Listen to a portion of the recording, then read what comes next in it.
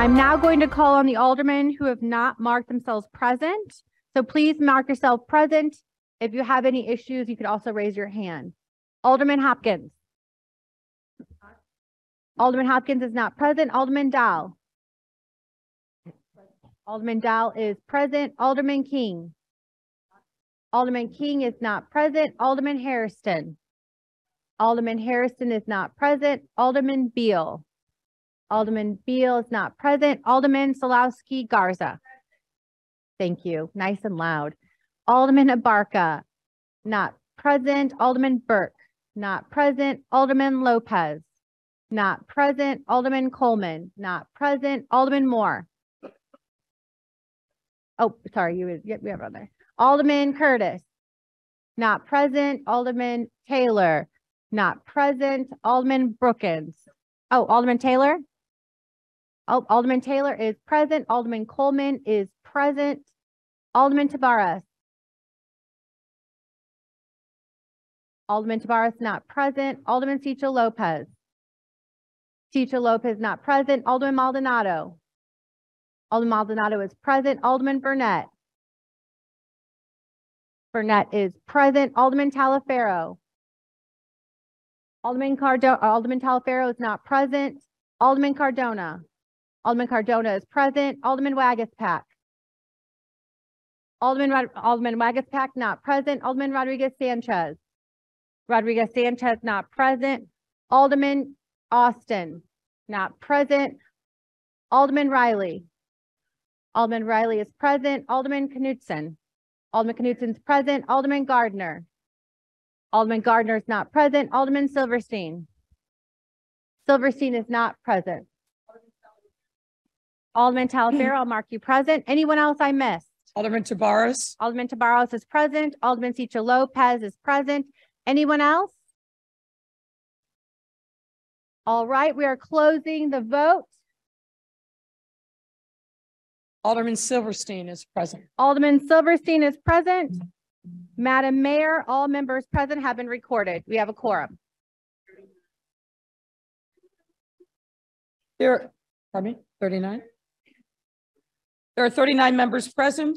We have a quorum. Ladies and gentlemen, please stand for the Pledge of Allegiance.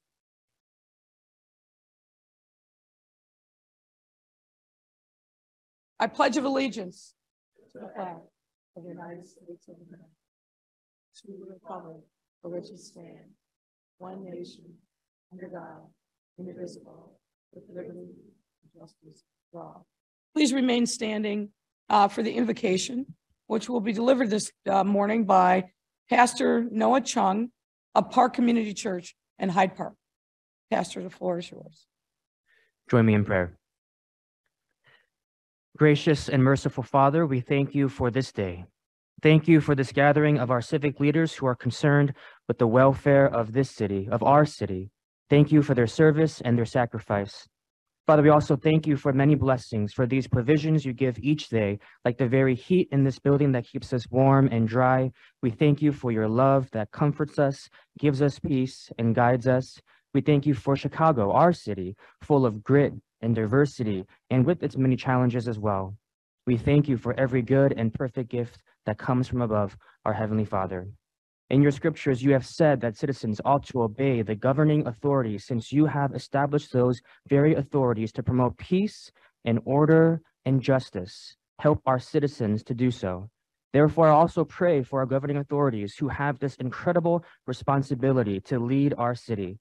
I ask that you graciously grant them wisdom to govern amid all the conflicting interests and issues of our times, grant them a thirst and a hunger for justice and righteousness for the needs of our people, grant them a confidence soaked in humility to do what is good and right no matter what others say, grant them the clarity and creativity to solve the many complex and systemic issues facing our city, grant them the ability to work in harmony with one another even when there is disagreement.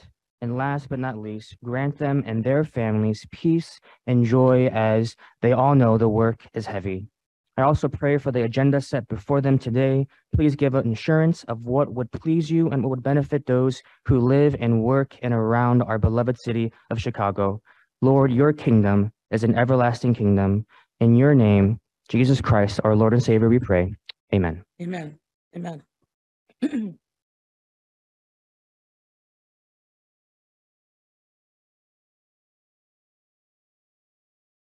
Ladies and gentlemen, is public comment. Mr. Clerk.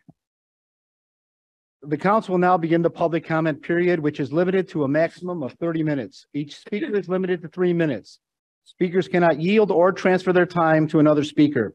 Any written comments that have been submitted will be posted and made available for automatic review. Our first speaker today is Daniel Regueira.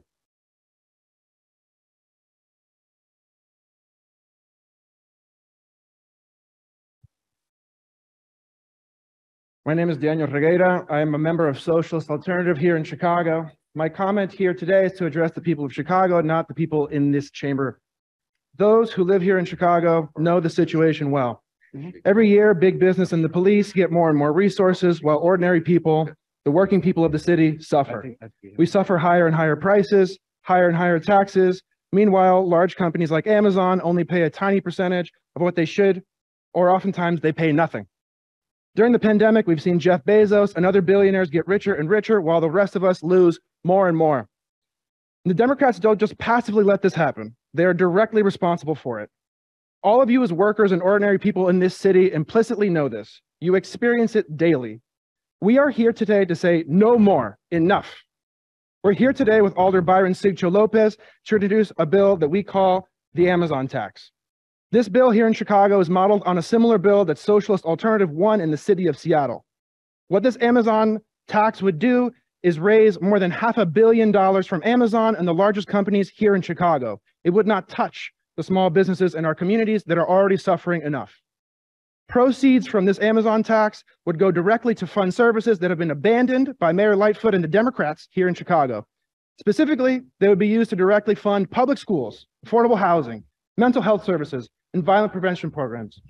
Here are some of the important lessons we in Socialist Alternative learned from our fight in Seattle for this tax on Amazon. We learned that the Democrats and big business are not going to stand aside idly and let this happen. In Seattle, the Democrats in, C- in City Council illegally overturned our first Amazon tax we won in 2018, but we came back in 2020 to win a tax double the size. And we were successful in Seattle for two important reasons. First, we had an independent socialist councilwoman, Kshama Sawant, leading on the inside. Second, we had a mass movement of working people in the streets demanding this be put into law. That second part is absolutely key. Let me repeat that. This was won in Seattle not by begging the Democrats, but by a mass movement demanding it directly. That first key aspect we have here, Byron Sigcho Lopez, an independent socialist. That second part we still need. We still need to build a mass movement. We invite you, the working people of Chicago, come fight for what we need in our communities. We are not here to ask or beg or plead with the Democrats. We are here to demand what we need. People of Chicago, fight with us because when we fight, we win. Thank you. Thank you, Mr. Regueira, for your comments. Our next speaker is Cassandra Sestopoulos.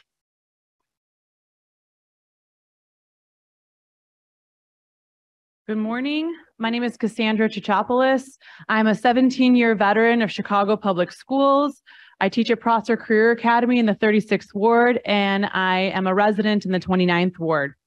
I'm the union delegate at Prosser Career Academy, and I'm also on the executive board of the Chicago Teachers Union. I've had to deal with a lot of CPS shenanigans in my career, but becoming a new mother in July and navigating the abysmal parental leave process was a new low for CPS. I had to have an emergency C-section in order to, to deliver my daughter.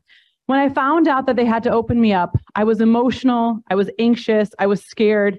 But one of the most disturbing thoughts I had was, hey, maybe I'd get eight weeks instead of six weeks of short-term disability. Afterwards, I reflected on how truly messed up it was to live in the wealthiest nation one of the wealthiest cities in this country and not have a decent parental leave policy where a woman would look on the bright side of a C-section. It's medieval. In order to spend more time with my newborn daughter, which research shows is good for the birthing parent and the baby, I used up almost all of my bank sick days. Now I worry that if I get sick, I won't be able to take a, a sick day for myself or for my child if she gets sick. I'm also at an economic disadvantage. My male coworkers have over 100 days of banked time that they can use to retire early or to cash out. In a profession that's dominated by women, this is discriminatory. If you want to attract more people to the teaching profession, we can't shortchange them on parental leave. Many of my friends and family in the private sector get four to six months of paid parental leave. So you can imagine how excited I was when the mayor announced in the fall that she was going to grant city workers 12 weeks of paid parental leave. My heart burst with joy only to be crushed several months later when she rescinded her promise to offer to public sector employees like myself. We were so close to getting this basic right that most countries offer. There was even a timeline for the Board of Education to vote on it in January. If I choose to have a second child, I have to be extremely strategic about when I have it so that I can attempt to be with the baby for as long as possible because I won't have bank sick days to take. I cannot believe that in 2023, my employer, the mayor, has control over where I live and when I'm going to have a child. The handmaid's tale isn't far off. When people wonder why CTU gets involved in the political realm, it's because politicians like the mayor have an outsized role in our personal and professional lives. And so we need champions on our side, like many of you aldermen who stood with us at our press conference this morning. In 2019, Mayor Lightfoot, you messed with our jobs and our students, and we went on an 11 day strike. Now you're messing with our babies. And I know that there's nothing that this mama bear won't do to protect her child. I urge the mayor, the members of the city council, and the handpicked Board of Education to negotiate the details of the 12-week parental leave policy with CTU and approve it as soon as possible. Thank you. Thank you, Mrs. Stopoulos, for your comments. Our next speaker is Janine Reniel. Hello, good morning. My name is Janine Rangel. I'm an organizer with Independent Drivers Guild of Illinois. I'm here today because 10 of thousand ride shares and deliver drivers are very vulnerable to sounding unguaranteed, unfair, and arbitrary desactivation practice. Many drivers find themselves only unable to work to support their families due to a variety of reasons, source and problem and uploading their documents to the apps and being incorrectly flagged and fraudulent, as well as being subject to false complaints for customers who are either looking for a free ride or free meal or are railing against a driver who is trying to follow the rules and traffic laws. Gig workers deserve to be able to work with dignity and respect without fear of being terminated with no due process and no investigation. I'm asking to city council members to support and pass meaningful legislation to put an end to unwarranted desactivation. Please support the ordinance that is being introduced today for Alderman Woman Sue Garza, app companies care most about making profits most often experience of workers who drive long hours to make ends meet. It's time to stop with this company because the families have a many, many long work in no, I complain with this, um, and two times of the complaints, the families, when my familia y los, las familias tenemos que soportar y parar estos abusos de estas compañías. Gracias. Thank you, Ms. Manel, for your comments. Our next speaker is Sarah Chang.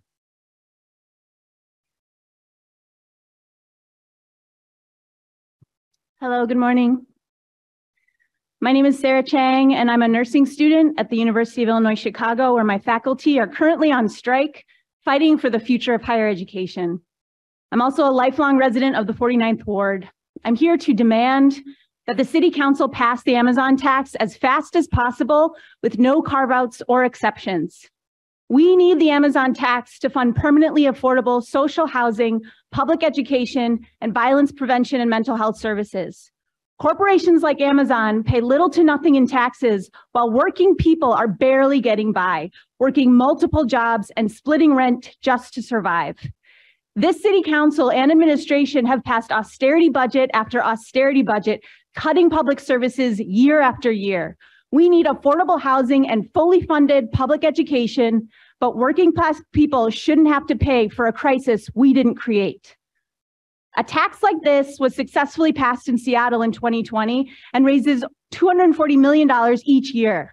Since being passed, they haven't seen the mass exodus of businesses that opponents threatened would happen. Rather, we see a sustained stream of funding for social housing. We need this tax here in Chicago.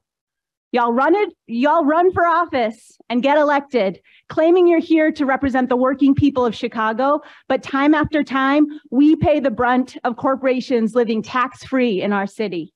Here's an opportunity for you all to show who you stand for in the city of Chicago working people or big business. Pass the Amazon tax with no delays, no watering it down. Thank you very much. Thank you, Ms. Chang, for your comments. Our next speaker is Stephen Everett.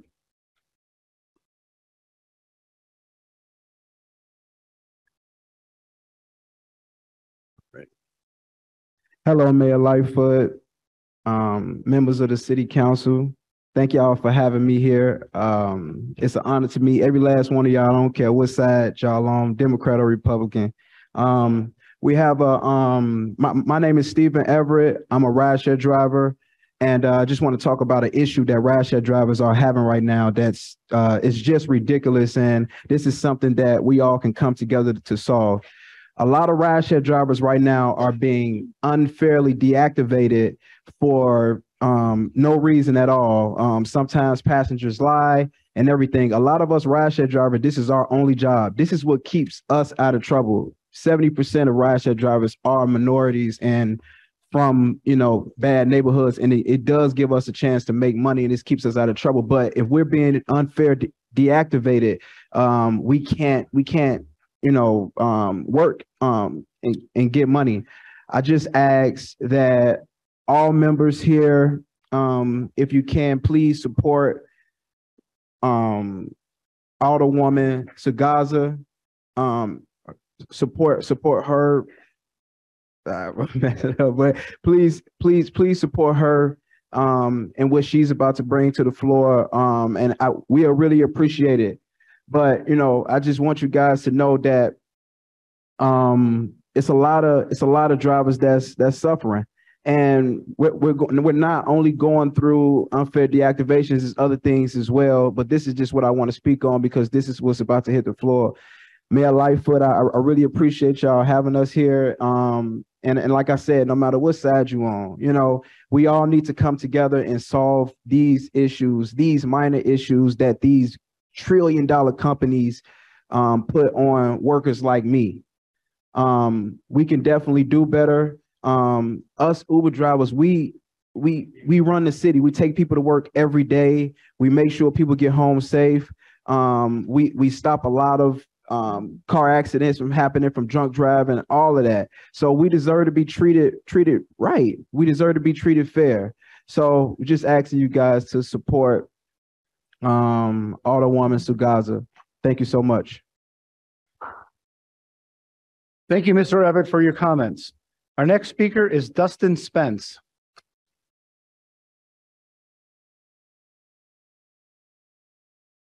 Uh, good morning. My name is Dustin Spence. I'm a member of Socialist Alternative and a resident of the 49th Ward. I'm speaking today to demand that the City Council pass the Amazon tax as fast as possible with no carve outs or exceptions. We need the Amazon tax to fund permanently affordable social housing, public education, and violence prevention and mental health services. Corporations like Amazon pay little to nothing in taxes while working people are barely getting by working multiple jobs and splitting rent just to survive.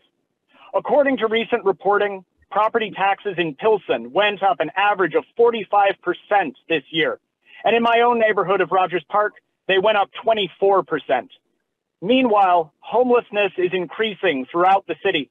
A tent encampment shares the park right next to my home. And yet this city council boycotted the Bring Chicago Home ordinance an ordinance which only began to address the problems working people face. Enough is enough. While working class Chicagoans are feeling the crush of ever increasing tax payments, we are told that the city has no money to pay for the things we so desperately need.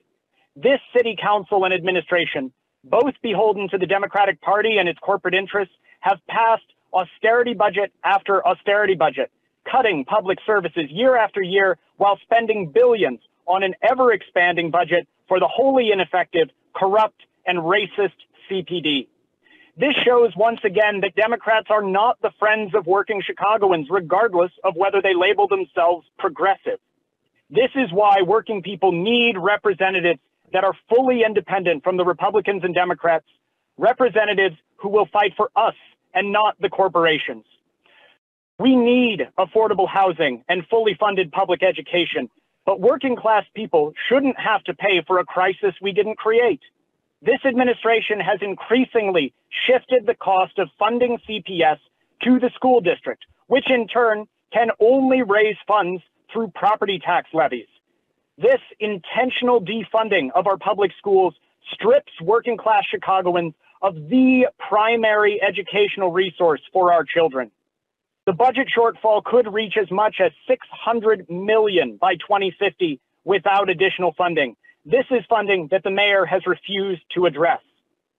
The ordinance that will be presented today, today addresses this very issue and could raise over half a billion dollars every single year and raises it without passing the burden on to working people. Pass the Amazon tax with no delays and no watering it down. Thank you. Thank you, Mr. Spence, for your comments. Our next speaker is Edward Korecki.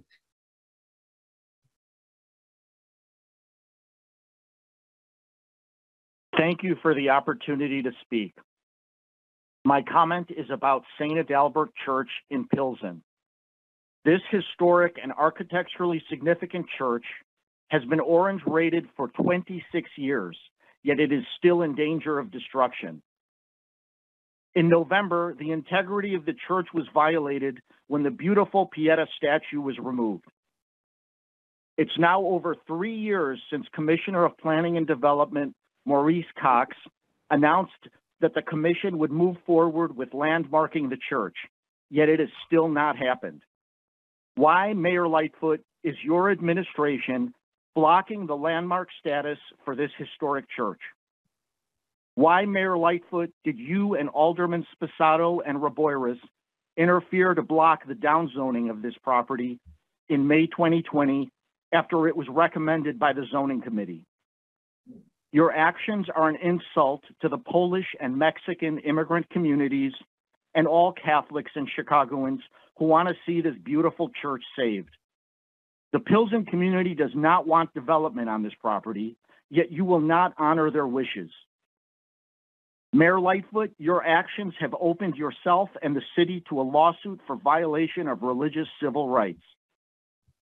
Please stop opposing the wishes of your constituents and grant landmark status to St. Adalbert Church at the February 2023 meeting of the Commission on Landmarks. Thank you. Thank you, Mr. Korecki, for your comments.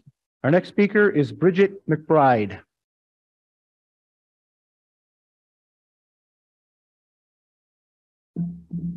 Hello. Thank you, Mayor Lightfoot, City Council members, and all attendees.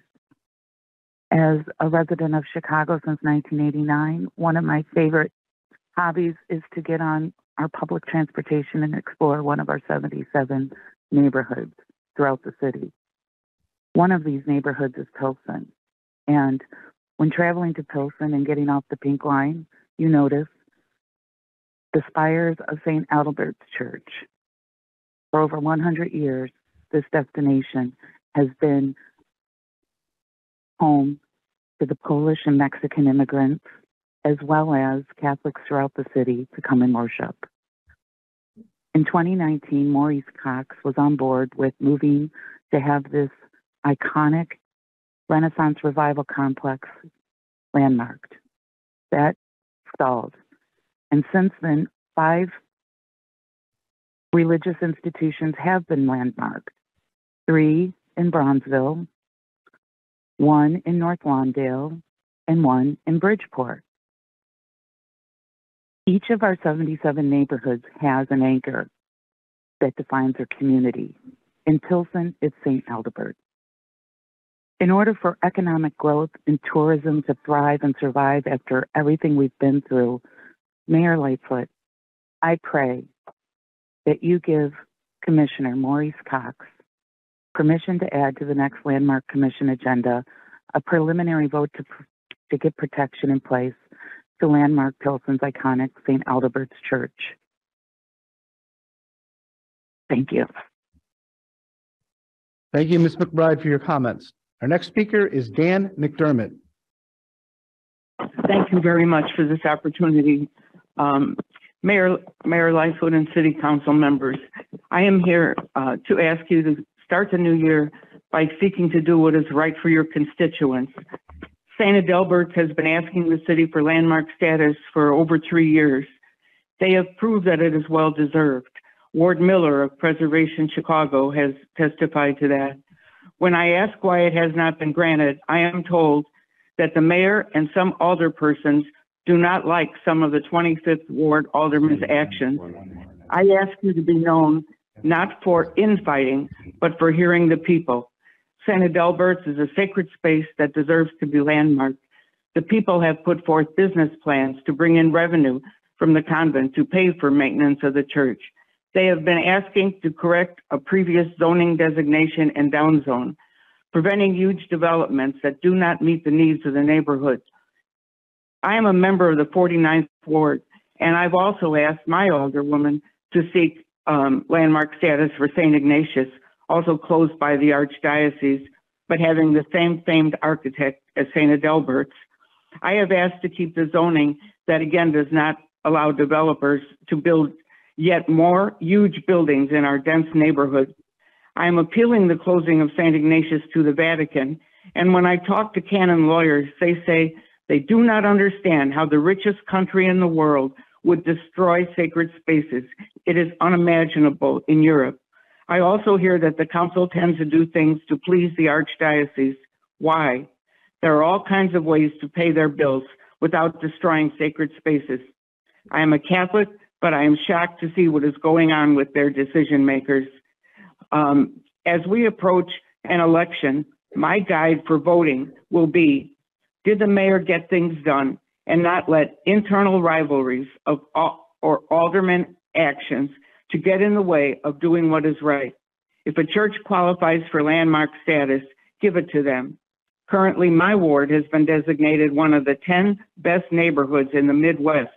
We will be getting more tourists and visitors eh, like uh, in Pilsen, and we will be looking, they will be looking at such a historic place as St. Ignatius from an artistic and community serving perspective. And it will increase and make visitors more impressed with our city. People would also be impressed with the historic sacred space in Pilsen. Please do the right thing as Dr. Martin Luther King would do. End the rivalries. Thank you. Thank you, Mr. McDermott, for your comments. Our next speaker is Andrew Kapinski.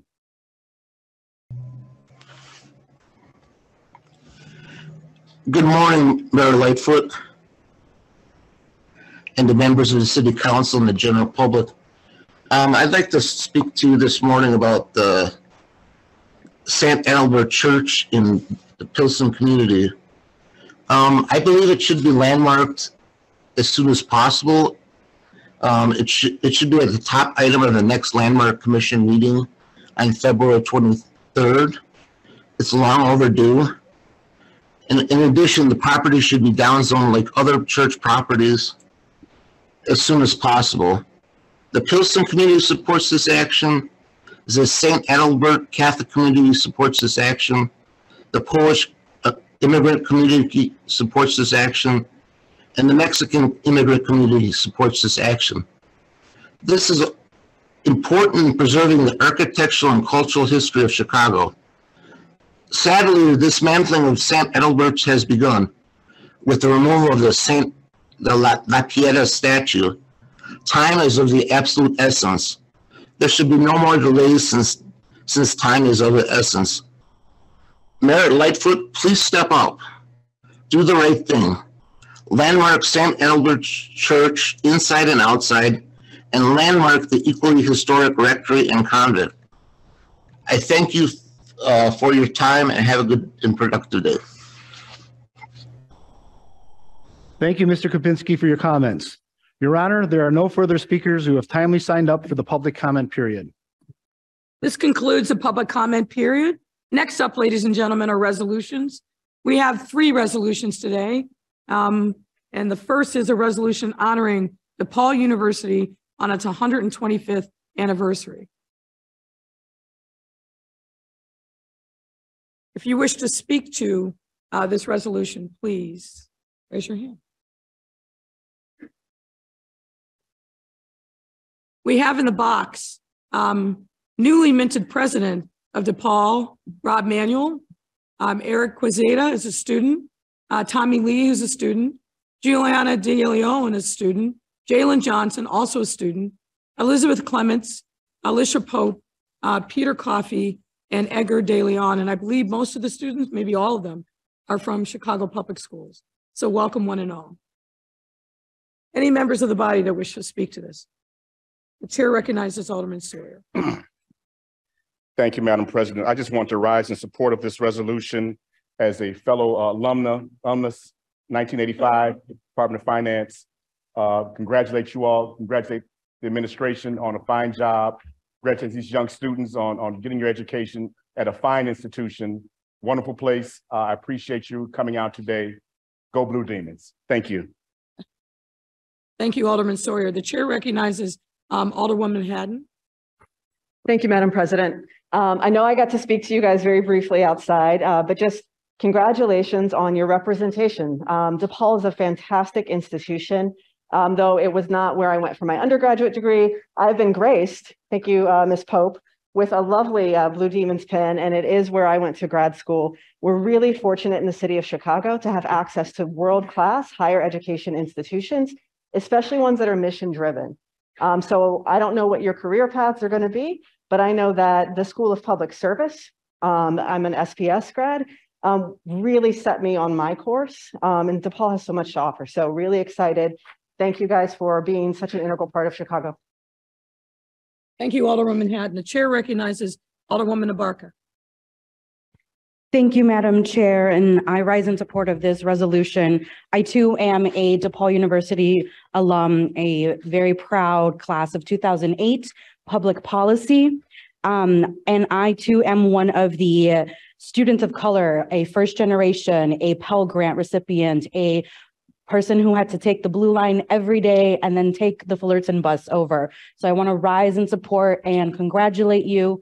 Um, I am one of you. Uh, I can tell you that DePaul, um, my undergrad years were some of my fondest memories, and it is my DePaul professors who have uh, supported me and to this day still um, support everything that I do. Uh, part of my career trajectory was uh, completely um, pointed in the direction that it did because of my time at DePaul. And so I am sad that I can no longer get a chicken sandwich at Bron Broncos, but um, that's quite all right. So again, congratulations to you all. Thank you. Thank you, Alderwoman. Uh, the chair recognizes Alderman Rodriguez. As a fellow Blue Demon, I also rise uh, to support this resolution.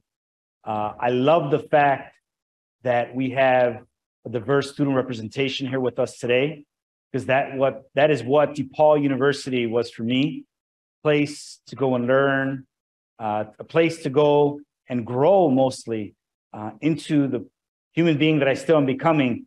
Um, it, it's not lost upon me, Madam Chair and colleagues, that DePaul University is the largest Catholic university in the country. It's a place where not only do people practice diverse faiths, even though it's a Catholic institution? I, re I recall uh, uh, my religion class was taught by uh, uh, a Jewish rabbi. Um, it's a place where we come together, learn from people throughout the world, uh, and become a better society because of it. I'm very proud to be associated with DePaul to this day, and I'm very proud to be associated with this fine resolution. Thank you, Madam President. Thank you, Alderman. Any other members of the body that wish to speak before I go to Alderman. Uh, the chair recognizes Alderman Burke. Thank you, Madam President and ladies and gentlemen of the council. I too am a proud blue demon. And uh, this gives me an opportunity to acknowledge my gratitude to the uh, Vincentians and to the largest Catholic university in America. I'm a undergrad uh, class of 1965 and law school 68. My wife is a uh, graduate of DePaul. Uh, our daughter Sarah is a graduate of DePaul Law School. And our son Travis just recently graduated. Uh, and we're so uh, grateful to the Vincentians for establishing the university here in, in Chicago 125 years ago. Uh, what a proud uh, uh, institution and uh, and also great source of athletic uh, pride. Uh, I was there back in the days of uh, Ray Meyer uh, when uh, DePaul's men's team uh, contested on the national level uh, each and every year. And it was so great that the university recognized Coach Meyer uh, with the beautiful statue that uh, graces the campus. Campus is far different than it was all those uh, years ago in the 1960s. Um, and the growth of the campus under Father Holtschneider was just truly uh, remarkable. Uh, and congratulations too to the new president of the university. Um, it really, um, as Alderman Rodriguez uh, mentioned, provided uh, generations of Chicagoans the opportunity to receive a college education. So many uh, of those graduates uh, were first-time um, college students, first in their families to go to college. And uh, I too uh, want to say how important it was to have the night law school. I was a product of the night law school, as was John Stroger uh, uh, in those days, and uh, so many other uh, leaders of Chicago who went on to accomplish remarkable things in the tradition of the proud Vincentian uh, policies. So uh, congratulations um, to the university, to those students who are here and are carrying on that uh, great Vincentian uh, tradition. Uh, God bless and good luck. Thank you, Madam President. Thank you, Alderman Burke. Any others? Yes, Alderman Hopkins, the chair recognizes. Uh, Thank you, Madam President. I too rise in support of this resolution and uh, ask to be associated with it uh, in honor of DePaul University, which uh, is not currently in my ward, but under the new map, actually, I will have a small portion uh, of the DePaul campus will be uh, added to the second ward. And I think in, in many ways, uh, DePaul and the city of Chicago grew up together. Uh, DePaul really does personify the uh, spirit of an urban campus. You are not just resident in the city. You are woven into the fabric of the city of Chicago. Uh, and as we've heard from so many Blue Demon alumni here, um, you know, you're one of the preferred schools for Chicago residents. But when you bring people here to Chicago, when students come from rural states or from the uh, western states, uh, they always talk about their introduction to the city of Chicago as DePaul students. They know that their experience uh, really typifies uh, the, the true Chicagoan uh, lifestyle. So many of your graduates choose to stay here in Chicago um, after they complete their studies. And that's a testament to the student lifestyle that you provide for them and the outstanding education um, that DePaul has provided for so many years. Um, and I do have to say one thing, uh, um, uh, the uh, late lamented demon dogs. You can't get one of those anymore, Alderman Abarca, but you can get a sandwich at Broncos. Believe it or not, they just reopened uh, after a hiatus during the uh, pandemic. So we'll we'll be talking more about them in a, in a future meeting. But uh, they're also a part of DePaul history um, and, a, and a very uh, very cherished part of student life at DePaul. So uh, thank you for being here. Thank you for presenting this to us, Alderman Knudsen. Uh, I'm proud to support this resolution. Any other members of the body that wish to speak to this resolution? Chair recognizes. Thank you so much, Madam President. Um, I rise in strong support of this resolution. I couldn't be more proud in the 43rd Ward to be the home ward to DePaul. You know, DePaul is a university at its core values that stands for diversity, equity, inclusion, and public service.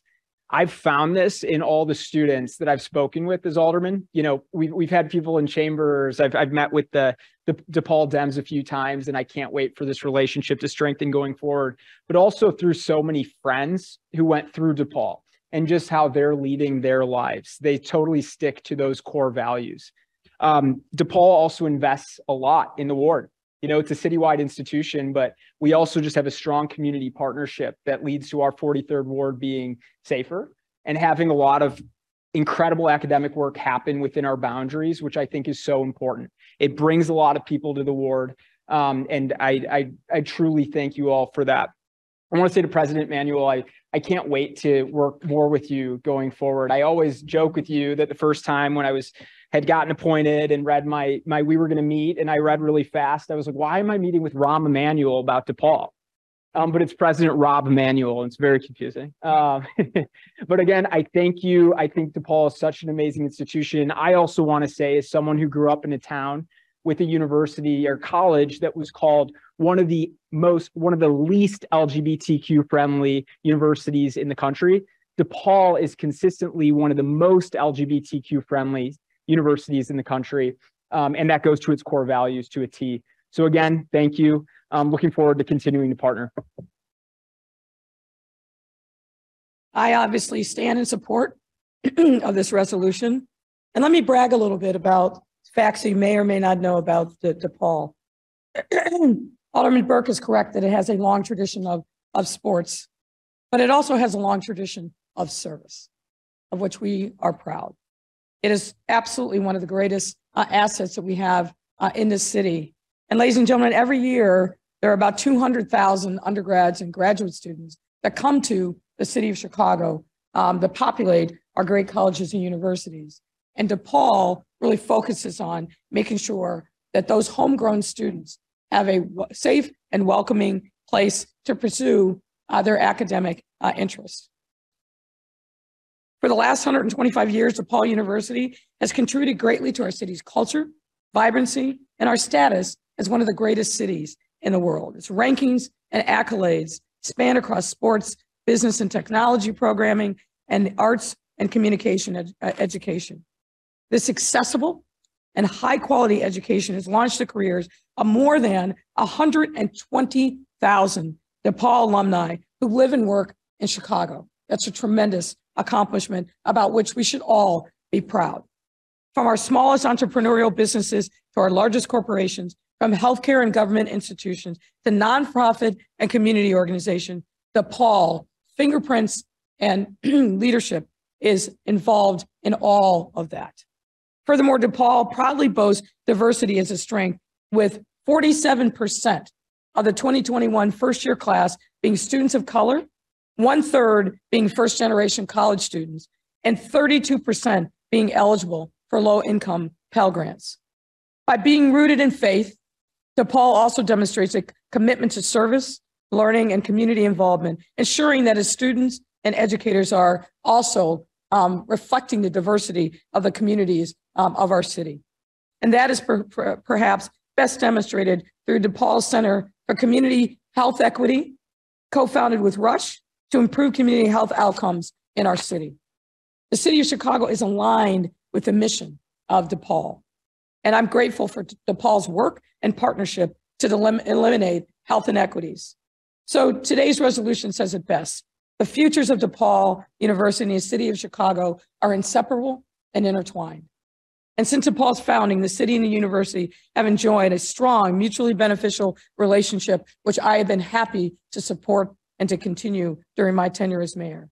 So in recognition of DePaul Day, and our 125 years of partnership, I'm honored to present this resolution and extend council's best wishes for DePaul's continued growth um, and prosperity. I will also say thank you for associating yourself with a certain high school in uh, Alderman Martin's ward. I have a vested interest in that high school's success. Ladies and gentlemen, please rise and applaud DePaul University.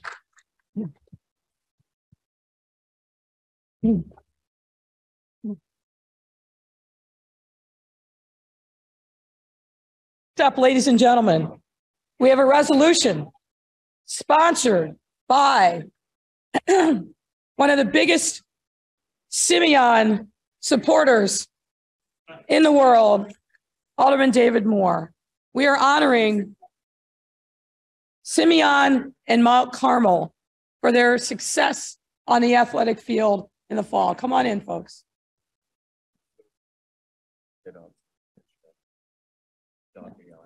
Okay. Alderman Mitchell, Okay. Madam you, President, I uh, move for temporary- you have a motion to suspend the, yes.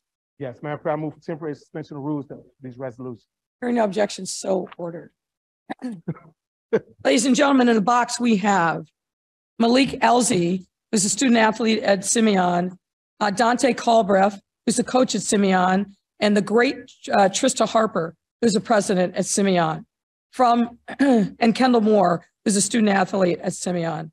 From Mount Carmel, we have Scott Tabernacki, the principal, Mark Antonetti, the coach, uh, Blaney Dowley, a student, Asher Tomaszewski, also a student, uh, Demarian Arrington, a student, Eddie Fleck, a student, and Owen Schickel, also a student athlete. Are there any members of the body that wish to speak to uh, this resolution? Alderman Moore, I'll hold you in reserve. Anyone, anyone like to speak and celebrate these champions? The chair recognizes Alderman uh, O'Shea. Thank you, Madam President. I proudly rise in support of this resolution.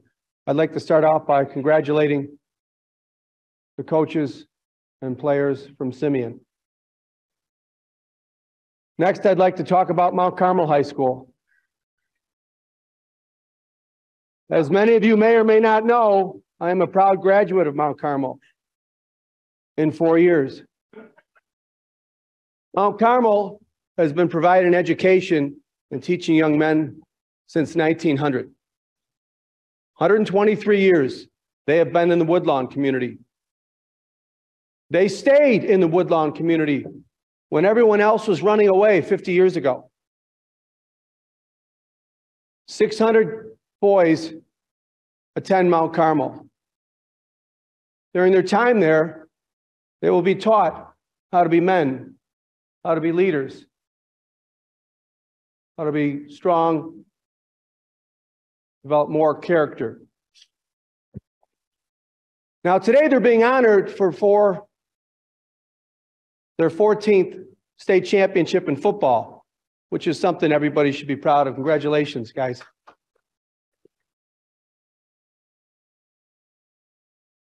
I think it's just important to note about how these young men have been taught in their experiences these past four years at Mount Carmel how to go off in the world and be leaders and stand up for people and be a voice. You guys are very lucky. Your parents had a lot of options and they chose Mount Carmel.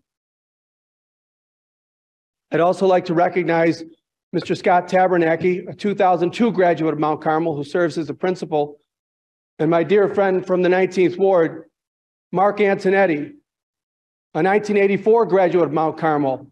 I'd like to add, 39 years ago, Mark Antonetti was a student athlete across the country as a graduate from Mount Carmel. Scott and Mark are leaders at the school. They serve in, in administrative roles and they also teach these young men. I couldn't be more proud to stand in support of this resolution, but more importantly, I couldn't be more proud to be a graduate of Mount Carmel High School. Thank you. Alderman O'Shea, the chair recognizes Alderwoman Hadden. Thank you, Madam President. Um, thank you all for joining us this morning. To Mount Carmel, to Simeon, we're very proud of you. Your city's proud of you. Um, not everybody uh, gets the opportunity to be a student athlete. I think athletics provides such an opportunity for us to build ourselves, our community, um, but also to encounter challenges and persevere. Um, I know I participated in student athletics. It's something in the Rogers Park community where I serve that we work to promote. Um, you're serving your community by participating in this in addition to serving yourself. Um, your city's proud of you. We love to see you excel. Um, so for Mount Carmel and for Simeon, thank you for being here. Thank you for continuing. Thank you for being winners. Thank you for being successful. And I wish you the best as you continue on your personal and team journeys. Thank you, Alderman Hadden. Uh, the chair recognizes Alderwoman Hairston. Thank you, Madam President. Members of the City Council, I too rise in support of this resolution. Um, having been familiar with both uh, schools for yeah, long, long time. um, what what I can say is that uh, the programs in your school have been consistently excellent over the years. Um, back in the day when I was in high school, um, I couldn't go to Mount Carmel to compete uh, because it was an all boys school, and I was one of the first girls to join a lab school swim team and the boys swim team because there was no girls swim team. Um, and so um, what I do know is Simeon and Mount Carmel turn out fine, excellent individuals, uh, not only in the education that they receive, but in the way that you all represent your schools. It is not just now, but your representation goes on forever. And all of the legacies of Mount Carmel and Simeon are here in the world for all to see. Congratulations. Thank you, Alderwoman. Uh, the chair recognizes Alderman Sposato. Excuse me. Thank you, Madam President. I too support the resolution. Being a big sports fan I am, a Northwest Side sports fan that is. I always admire Simeon and Mount Carmel. They're two, I only follow them for, for their, for athletic, unbelievable athletes they have in both of those schools. Um, I believe Simeon has a, a major stud on the football team this year that's going to U of I, I think. You have a, um, they have countless kids going to Division One schools, and I love following local kids uh, doing great and doing well. Um, I'm more on the more on the sports end, not the academic end, uh, Matt. So sorry with that. So, um, but just wish you guys the best. You make the city proud. And I have one question, Madam President, if I may, if I may ask my two colleagues, Alderman O'Shea and Alderman Moore, city championship, Simeon, Westmont Carmel. Who's going to win the game, guys? Thank you, Madam President. Thank you, Alderman Sposato. The chair recognizes Alderman Quinn.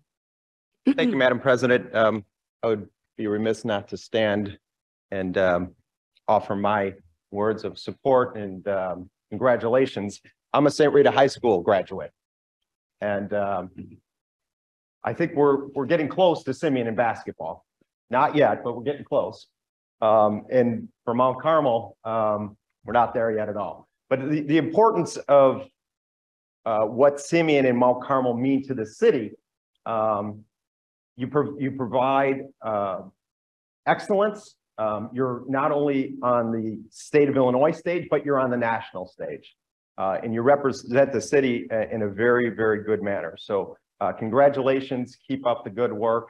Um, it's good to see you, Mark. Uh, thank you for everything you do as well. Uh, congratulations. Thank you, uh, Alderman Quinn. The chair recognizes Alderman Brookins. Thank you, uh, Madam President. I, I, stand in, in support of this resolution to Mount Carmel. Congratulations, kudos. I did not go to Mount Carmel. I went to Mendel, so it's hard for me to really say that to you all. But Simeon, it, it, you all have always been a powerhouse since I was a kid. Uh, you had one of the best coaches from Mendel who coached at Mount Carmel for a long time. Uh, but Simeon and Principal Harper and Coach, I've watched countless of wins from Simeon. You have made me and David and the entire South Side proud of what you all have been able to accomplish at Simeon. And uh, we just want you all to keep on keeping on uh, and, and strive for excellence, both of you all, both of your schools. And we really are proud of you all. So thank you all for what you all have done. Thank you, Alderman Brookins. The chair recognizes Alderwoman Lee. Thank you, Madam President. I also rise in support of this resolution. Uh, to, to all of the young men and your coaches sitting in the box, uh, just to echo all, what all of my colleagues have said, thank you so much for what you do for this city and how you represent this city. Uh, we know in the national news, we don't always have positive stories, um, but you are one bright shining part of that. Um, and I thank you for it because you bring communities together and you give us something to be proud of. I know in my community in the 11th ward that the Mount Carmel pride runs very deep. Um, I see signs all over the place. I know people are at football games all the time. Um, and I thank you for that because you are continuing a long tradition um, of uh, pride and citizenship um, and just doing good things in the community and becoming strong leaders in ours. Um, I, and to the coaches, thank you for all that you do um, to churn out all of these great young men and women uh, at your schools, not just in these programs, but it does extend to the school community and the entire city. So thank you on behalf of all of us in the 11th ward for all that you guys are contributing. Thank you, Alderwoman Lee. The chair recognizes Alderman Ervin. Thank you, uh, Madam President. Uh, again, congratulations to, uh, both Simeon and, uh, Mount Carmel High Schools. Just a point for the record, uh, the principal from Simeon is actually from the west side, so you all that are always clowning on us on the west side, Principal Harper came from Manley High School and has done great work there, as I'm sure that she's done at Simeon. But again, congratulations, Trista, and, and the work that you're doing uh, out at Simeon and the, not only the from the athletic aspect, but from the academic aspect as well of the work that's being done to uh, help our young uh, men and women uh, on the south side of Chicago. But again, we welcome you back with open arms when you decide to make that move. God bless you. Thank you, Alderman. Anyone else who wishes to speak to uh, this resolution? The, Alder- uh, the chair recognizes Alderwoman Coleman. Thank you. Thank you, Madam Chairman, um, and to these great, great schools. Uh, congratulations to both, uh, Mount Carmel and Simeon. I love the diversity. We went from the north side at, uh, at DePaul, and now we're on the south side. And for the record, the alderman of the 28th ward went to high school on the south side at Morgan Park Academy. Let's not forget that, Chairman Ervin. So when, when the west side is ready to win championships, you all come this way. Oh, I didn't mean, to- I didn't mean to take that dig, but it just happened. Uh, to Coach Dante and to Simeon, um, I just admire, uh, the Alumni Association, the parents, just the vibe, the energy, and how you were a graduate of Simeon and a lot of the, um, teachers and, and leadership at Simeon actually came back home and it shows in the excitement and the rich legacy of just sportsmanship and just overall, just a, such a great brand. I know so many of my peers and my residents from Englewood that attended Simeon High School. So we are so godly proud of every accomplishment. Uh, we are rooting for you. I sit next to the Mr. Simeon over here, and it truly is Simeon versus everybody. So congratulations to both Simeon and Mark Carmel. You make us so proud. Uh, you make our city proud and continue young people to make your parents and your and your core and your foundation proud. Thank you, Alderwoman Coleman. Anyone else? Alderman Moore. Thank you, Madam President. First of all, Madam President, as these schedules get busy and we get so many people to make so many requests, I want to thank you uh, for um, allowing us to honor um, both Mount Carmel and um, Simeon today, because this more than anything is about our young people. Um, no matter what people are doing, campaign or anything like that, they're talking about what? Our young people, because it is going to be our young people that continue to make the difference. And a lot of that comes, I don't care what sport you're looking at, swimming, lacrosse, um, tennis, golf, um, baseball, football, basketball. Um, those skills are learned in sports, and that's the greatest talent. Um, a lot of that great talent comes from the people who play sports and, and leaders and, and become leaders. First of all, Mount Carmel. Um, it's, it's very rare that teams go undefeated. And it's very rare that teams go undefeated and win a state championship. So to you all, um, really kudos and congratulations to you all. Many times um, we forget about our uh, Catholic schools. We uh, recognize our public schools a lot, but you all are part of the fabric of this city. And so I, I, I commend you all. Mark, thank you for answering the call um, to make sure these young men um, were down here, but more or less for leading them um, to a, a, a great success and um, a great championship. So kudos to you, um, Mount Carmel. Now, my beloved Wolverines, my beloved Wolverines. God knows what Simeon means to me. I don't get to do a lot. I work a lot. My guilty pleasure is being at a Simeon football or basketball game, and that excites me. But before I get to this superstar that's sitting before us, Do- Coach Dante, you are a true superstar. People may or may not know um, Coach um, Dante Culbreath um, played under the famous Coach Al Scott, and he learned under him. And um, it was Coach Al Scott that wanted to make sure that um, Dante was a coach, and he's carried on um, that legacy. And so, thank you, Dante, um, for um, continuing to carry on and bringing that back. And Kendall, you played, and then you came back to help. And so, it's because when people come back, they don't forget where they came from. They come back, and this is the best mentoring program that you can have. When you talk about what we're looking for for nonviolence and violence prevention, this is it. And so I'm excited because you all came back and helped these young men. Now, Malik Elzy, brother, you are amazing. I, I did so much screaming. I lost my voice so many times um, screaming for you. You all are looking at an All-American. He played in the national, um, uh, um, what's it called? The National American Championship Bowl or something like that. All-American Championship Bowl. Y'all make some noise for him. Not many people get to um, play in the All American Bowl. And, and this is um, um, players, the best players throughout the entire country. And you're looking at the best wide receiver to me in the country. And so what I'm excited about, I don't have to go far to watch him. He's going to Illinois, y'all. So he decided he committed to Illinois. He's going to Illinois after so many people recruited him.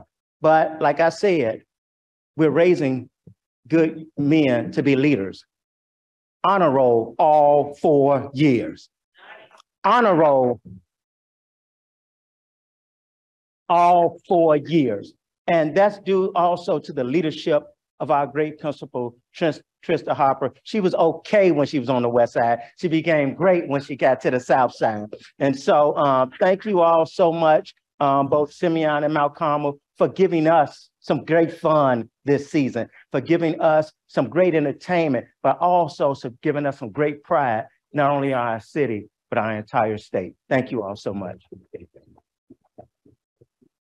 Thank you, Alderman Moore. Let me rise and, and uh, of course, join um, this resolution, but I want to tell you a little bit of details about these two teams. Um, CPS's Simeon Career Academy won the 2022 Chicago Public League Football Championship, and Mount Carmel, as you heard, won the 2022 IHSA 7A Illinois State Football Championship, something both schools should be enormously proud about. Um, Chicago, of course, is a sports city, and these teams really um, stand out um, in the in the history um, of sports teams and high school teams in particular. It says a lot about, I think, um, not only the coaching and the commitment, but also about the quality of the young men that are populating both of these teams. Um, at the high school level, we know there has to be incredible perseverance, determination, and talent leading these players uh, to success. Not only did each team win their respective championship, but they were winning team throughout their season. Mount Carmel was undefeated. And as Alderman Moore says, that is an incredible accomplishment across all the incredible competition that you face, that you went 14 and 0, kudos to you, gentlemen. Quite an accomplishment. And Simeon finished their season 12 and 1, also an incredible accomplishment. The greatness of these players, their coaches, and the school communities rallying behind them is clear. Some of you knew I grew up in a small town in a different state, but we were a high school and continue to be high school football power. So I know a little bit about high school football. But importantly, what I know of both Mount Carmel and Simeon is tremendous school communities from the principal on down to the coaches, the teachers, everyone is united and pulling for these young people to make sure that they are successful. Our children are absolutely a product of the adult ecosystem around them. And the fact that you have uh, excelled over and over and over again not just on the athletic, athletic field, but in academics as well, really is a testament to that ecosystem around you. And the fact of the pride of the alumni, um, not only um, out in the community, but coming back to each of the schools to contribute in meaningful ways. That says something that you've got something special at each and every one of these schools. Now, I know Mount Carmel less, but I will also say Principal Harper, who we've had a lot of conversations sometimes on good days, sometimes on tough days.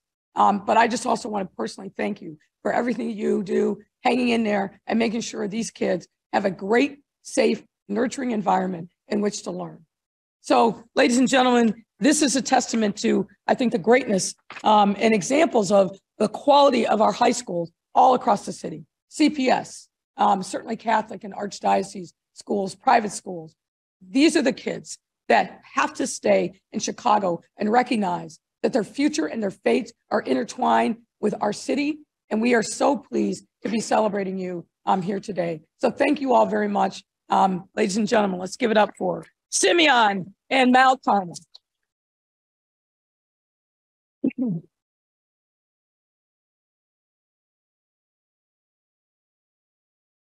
Gentlemen, our final resolution is one brought to us by um, your colleague Alderwoman Deb Silverstein, um, uh, in memory of um, uh, Holocaust Survivors Day. Alderman Silverstein, any other members of the body that wish to speak to this resolution before we have Alderman Silverstein speak? Anyone? Anyone? Anyone? The floor is yours. Thank you, Madam. Thank you, Madam President. I stand in support of this resolution. Friday, January 27th will mark 78 years since the Soviet Army liberated the Auschwitz-Birkenau concentration camp, freeing more than 6,000 prisoners. We commemorate this event with Holocaust Remembrance Day, a day to remember those who died in the horrors of the Holocaust and to honor those who survived to rebuild.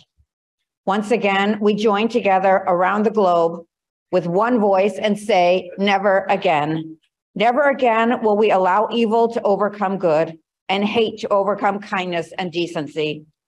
Tragically, anti-Semitism is on the rise. Anti-Semitic incidences increased by 430% in Illinois between 2016 and 2021, according to the Anti-Defamation League. And locally, hate crimes were up 71% in 2022, according to the Chicago Commission on Human Relations. The most frequent targets are Jewish residents. This must stop. Now we must be more vigilant than ever against attacks on the dignity and welfare of Jews and on all ethnic and religious groups. As the alderman of Chicago's 50th ward, I represent the largest Jewish community in the state of Illinois. I can assure you that the Holocaust Remembrance Day is very real for the residents of the 50th ward, and it's very real for the survivors. I'm grateful to my colleagues here today who have signed on to this resolution and join with me to honor the memory of those who died in the Holocaust and to honor those who survived to share their experiences and wisdom with the world. Never again. Thank you. Thank you, Alderman Silverstein, and thank you for bringing us uh, before the body. Um, I stand in strong and full support of this resolution. Ladies and gentlemen, you know this, but there are too many incidences of hate that are popping up all across our city. We have to be better than this. We have to make sure that we stamp out hate wherever we see it, and we have to denounce the people who are propagating uh, the hate. So again, thank you, Alderman Silverstein, for reminding us not only of our responsibility uh, to remember and never forget the horrible tragedy of the Holocaust, but to make sure that we are diligent every day and calling out hate where we see it and uniting together to stamp it out. So thank you, Alderman. Alderman Mitchell. Madam President, I move passage of these resolutions in the omnibus. Hearing no objection, so ordered. I, I now move we return to the regular order of business. Hearing no objection, so ordered. Next up, ladies and gentlemen, communications. Madam Communica- Clerk. oh, Communications from her honor, the mayor, to the honorable, the city council of the city of Chicago. Ladies and gentlemen, the request of the Commissioner of Housing, I transmit here with an ordinance authorizing the issuance of financial assistance for MHL2 Prairie District Apartments Development. Your favorable considerations of this ordinance be appreciated. Very truly yours, Lori Lightfoot, Mayor, for the Committee on Finance. Ladies and gentlemen, the request of the Commissioner of Housing, I transmit here an ordinance authorizing the issuance of financial assistance for the 43rd and Green Phase Development or Green Phase Two Development. Your favorable consideration of this ordinance will be appreciated. Very truly yours, Lori Lightfoot, Mayor, for the Committee on Finance. Ladies and gentlemen, the request of the Commissioner of Planning and Development, I transmit herewith an ordinance authorizing the execution of a TIF redevelopment agreement with American Blues Theater for the development of a vacant property located at fifty-six twenty-seven North Lincoln Avenue. Your favorable consideration is consideration is ordinance be appreciated. Very truly yours, Lori Lightfoot, Mayor, for the Committee on Finance. Ladies and gentlemen, the request of the Commissioner of Assets, Information and Services, I transmit here with an ordinance authorizing the execution of an IGA with the Public Buildings Commission regarding accessibility work on city facilities. In favor of consideration, this ordinance would be appreciated. Very truly yours, Lori Lightfoot, Mayor, for the Committee on Budget and Government Operations. Ladies and gentlemen, the request of the Budget Director, transmit here with a Fund nine, nine twenty-five amendment. Your favorable consideration of this ordinance be appreciated. Very truly yours, Lori Lightfoot, Mayor, for the Committee on Budget and Government Operations. Ladies and gentlemen, at the request of the Commissioner of Planning and Development, I transmit here with an ordinance authorizing negotiated sale of a city-owned property located at fifty thirty-six fifty forty-four South Prairie Avenue at fifty fifty Prairie LLC. Favorable consideration, this ordinance will be appreciated. Very truly yours, Lori Lightfoot, Mayor, referred to the Committee on Housing and Real Estate. Ladies and gentlemen- at the request of Commissioner of Planning and Development, I transmit here with ordinances authorizing the sale of city-owned properties under the Adjacent Neighbors Land Acquisition Program. Your favorable consideration of this ordinances will be appreciated. Very truly yours, Lori Lightfoot, Mayor, for the Committee on Housing and Real Estate. Ladies and gentlemen, at the request of Commissioner of Planning and Redevelopment, I transmit here with an ordinance authorizing uh quit claim deeds transferred of a city-owned property located at seventeen thirty-three North Francisco Avenue to adjacent neighbors. Your favorite consideration of this ordinance will be appreciated. Very truly yours, Lori Lightfoot, Mayor, for the Committee on Housing and Real Estate. Ladies and gentlemen, at the request of the Commissioner of Transportation, I transmit here with together Alderman Reilly Hopkins, La Spata, Martin, Vasquez, the Smart Street Pilots Ordinance. Your favorite consideration of this ordinance be appreciated. Very truly yours, Lori, Lori Lightfoot, Mayor, for the Committee on Pedestrian Traffic Safety. Ladies and gentlemen, the request of Commissioner- of Public Health, I transmit here with an ordinance authorizing the execution of an intergovernmental agreement with the Chicago Park District for the installation of weather stations and air monitors. In favor of consideration of this ordinance be appreciated. Very truly yours, Lori Lightfoot, Mayor, for the Committee of Special Events, Cultural Affairs, and Recreation. I, City Clerk Anna Valencia, hereby inform the City Council that the following documents were filed in my office relating to the respective subjects designated as follows. Notification of sale of City of Chicago General Obligation Bond Series twenty twenty-three A Chicago Works and General Obligation Bond Series twenty twenty-three B Chicago Recovery Plan. Funding loan notification of City of Chicago Multifamily Housing Revenue Note Series twenty twenty-two A Au- Auburn Gresham Apartments, And the Office of Inspector General Audit Report on Department of Planning and Development Administration of Neighborhood Opportunity Fund Small Grants Program. Office of Inspector General's quarterly report for period ended December thirty-first, twenty twenty-two, and comprehensive annual financial report for City Colleges, of the City of Chicago fiscal year ended June 2020 22. I, City Clerk Anna Valencia, also informed the City Council that all those matters which were considered by the City Council at the regular meeting held on December 14, twenty twenty-two, and were required by statute to be published in book or pamphlet form, or one on one more newspapers were published in pamphlet form on January 18, twenty twenty-three, by being printed in full text and printed pamphlet copies of the Journal of Proceedings of the City Council of City of Chicago.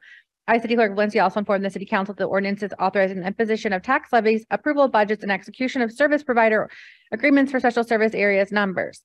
One 2015 3, 8, 10, 13, 17, 20, 22, 24, 27, 28, 20, dash 2014, 33, 39, 42, 47, 48, 50, 52, dash 2021, 59, dash 2022, 56, dash 2022, 62, 62, 63, 72, 73, 76, 77, and 8, 80, which were passed by the City Council December 14, 2022, and were requested to be published in special pamphlet form, which were published in special pamphlet form in December 16, 2022. Jeez. I, City Clerk Valencia, also transmit here with the following miscellaneous communications and reports requiring city council action, zoning reclassification of particular areas which referred to the Committee on Zoning, Landmarks, Building Standards, claims against the City of Chicago which referred to the Committee on Finance, recommendation by Commission on Chicago Landmarks for designation, a Pioneer Arcade in fifteen thirty-five North Pulaski Road as Chicago Landmark, which referred to the Committee on Zoning, Landmarks, and Building Standards. Your Honor, that concludes the reports and communications from the mayor and other city officers. Next up, ladies and gentlemen, committee reports. Uh, Chairman Waguespack, Finance Committee. Thank you, Madam President. Reporting for the City Council's Committee on Finance, which met on January twelfth, twenty twenty-three. Item one is a communication recommending a proposed ordinance regarding the authority to enter into and execute an amendment of original sales tax securitization agreement with Encuentro Square Two LP, Encuentro Square Two GP LLC, Encuentro Square SLP LLC for additional funding agreements incorporating tax increment financing assistance in the amount of $9 million for an affordable housing project at 1800 to 1840 North Hamlin Avenue, 1821 to 1857 North Hamlin, 3735 to 3750 West Cortland Street, and 1820 to 1856 North Ridgeway Avenue in the twenty-sixth ward. Unless there is someone wishing to speak, I move to concur with the committee's favorable recommendation by a roll call vote. Roll call vote has been called for. Yes. Please make sure you're logged into your device and hit submit. The vote is now open. If you have an issue, please raise your hand. Which one of them? Forty twelve. Is the vote open? Yeah.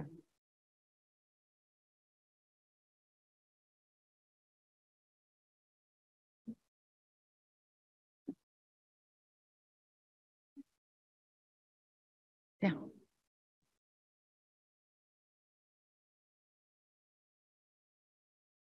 Alderman Scott, I see you. We're coming.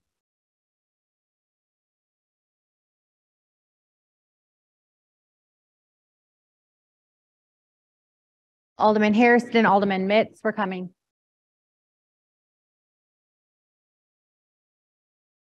Christina Ha-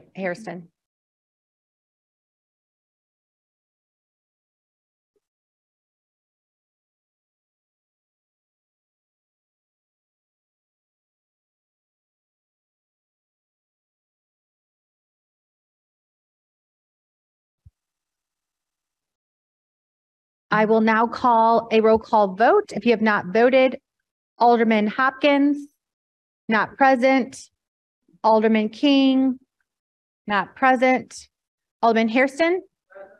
Uh, Or yes, yes, Alderman Harrison is present and yes. Alderman Taylor? Oh, just came through. Alderman Scott? Alderman Scott is a yes. Alderman Mitts? Mitts is a yes. That concludes the vote, and we are now closing the vote. Yes.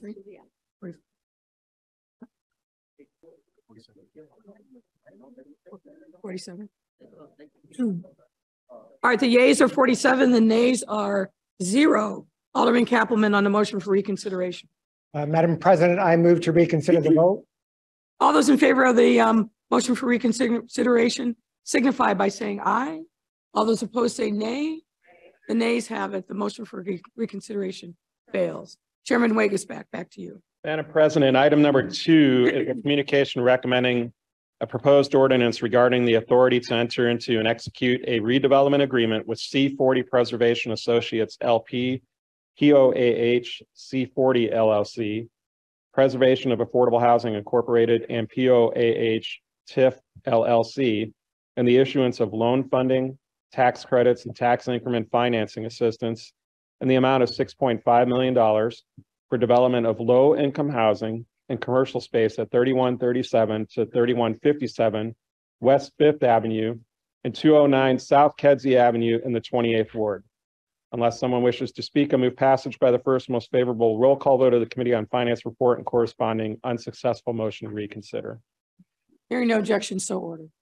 Item three is a communication recommending a proposed ordinance regarding the authority to enter into and execute the sixty-third amending agreement with SomerCor Incorporated to extend the program to the LaSalle Central Redevelopment Tax Increment Financing TIF redevelopment project area, increase funding, amend the Small Business Improvement Fund or SBIF program rules, and continue with SomerCor Incorporated as the provider of administrative services.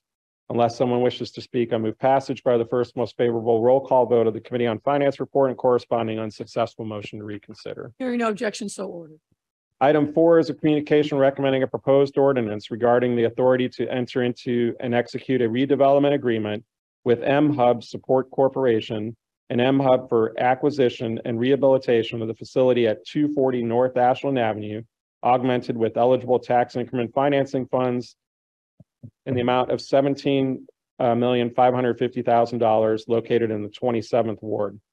Unless someone wishes to speak, I move passage by the first most favorable roll call vote of the Committee on Finance report and corresponding unsuccessful motion to reconsider. Hearing no objection, so ordered.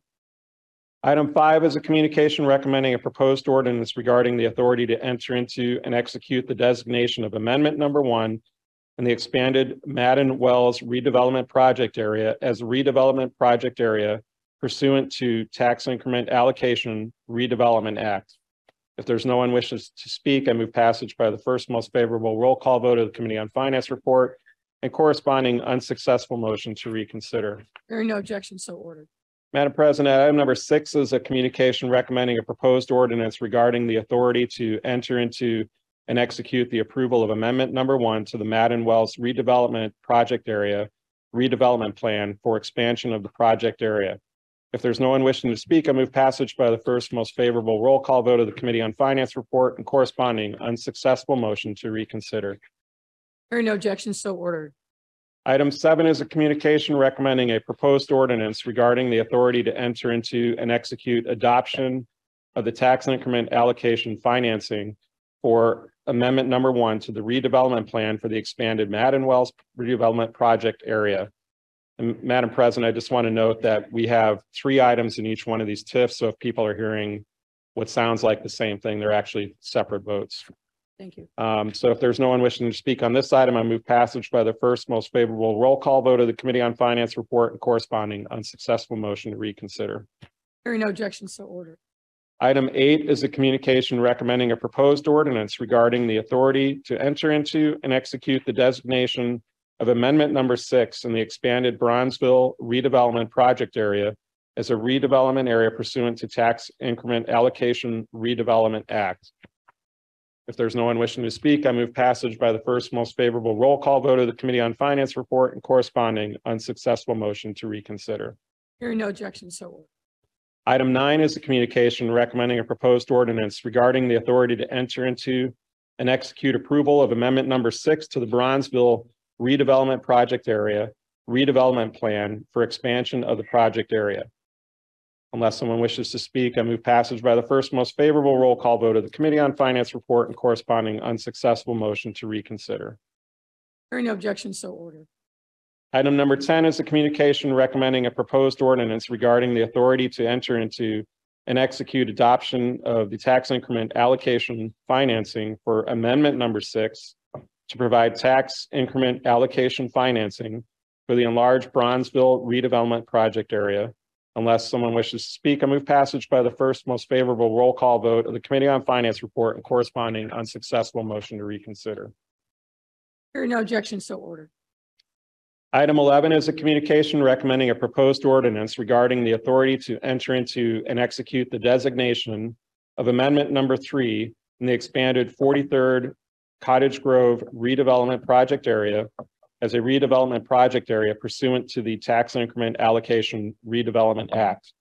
Unless someone wishes to speak, I move passage by the first most favorable roll call vote of the Committee on Finance report and corresponding unsuccessful motion to reconsider. Hearing no objection, so ordered. Item twelve is a communication recommending a proposed ordinance regarding the authority to enter into and execute approval of amendment number three to the forty-third Cottage Grove redevelopment plan for expansion of the project area. I move passage by the first most favorable roll call vote of the Committee on Finance report and corresponding unsuccessful motion to reconsider.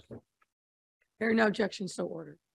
Item thirteen is a communication recommending a proposed ordinance regarding the authority to enter into and execute approval of the adoption of the tax increment allocation financing for amendment number three to the redevelopment plan for the expanded forty-third Cottage Grove redevelopment project.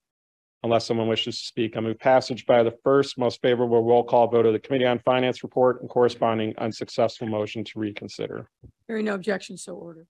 Item fourteen is a report of cases in which judgments or settlements were entered in- into for the month of December twenty twenty-two, which will be placed on file with the clerk. Items fifteen and sixteen consist of authorizations for the payment of various small claims against the city and denials of payment of various small claims against the city. Unless there's an objection, I ask these items be placed on the omnibus. Hearing no objection, so ordered. And item seventeen consists of authorizations for the issuance of charitable solicitation or tag day permits for the Mercy Home for boys and girls, uh, March first through thirty-first, twenty twenty-three. And if there's no objection, I ask that these items be placed on the omnibus. There are no objections, so ordered. Madam President, that concludes the report of the Committee on Finance. Thank you, Chairman Waguespack. Yes, the chair recognizes um Alderman Hopkins. Uh, thank you, Madam President. I request to have uh, my yes vote added to the first favorable roll call of finance and a no vote on the unsuccessful motion to reconsider. Thank you. So noted for the record. Next up, ladies and gentlemen, the Committee on Budget and Government Operations, Chairman Dow. Uh, Thank you, Madam President and members of the City Council. Reporting for your Committee on the Budget and Government Operations, which held a committee meeting on January thirteenth, twenty twenty-three. The committee recommends passage of the following item.